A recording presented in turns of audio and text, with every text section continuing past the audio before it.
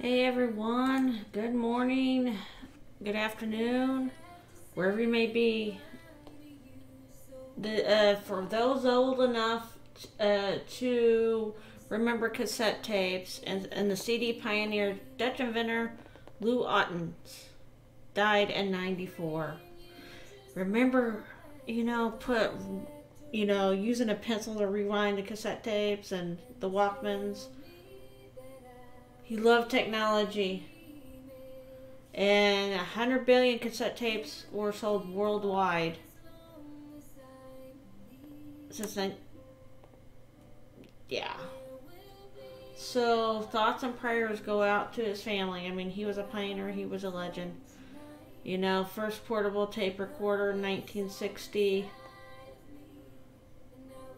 Development of the uh, playback device. So thoughts and prayers go out to the band who, the memories of the cassette tapes and CD Pioneer. So rest in peace, Lou Ottens.